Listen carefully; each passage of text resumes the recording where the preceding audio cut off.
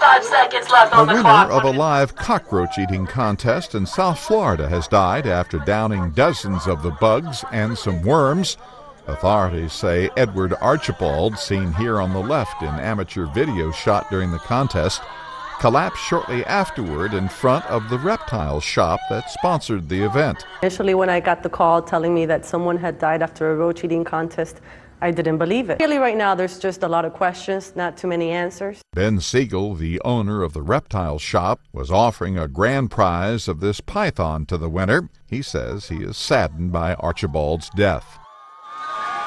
He was the life of the party. He was outgoing. So we're all very sad. We're sad for the family. We're sad for us. We're sad for him. It's it's a bad situation. Bug experts say cockroaches don't have natural toxins unless they're contaminated. Some people may have allergies, though, to the bugs.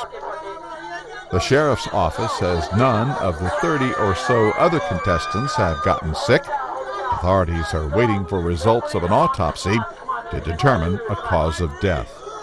Ross The Associated Press.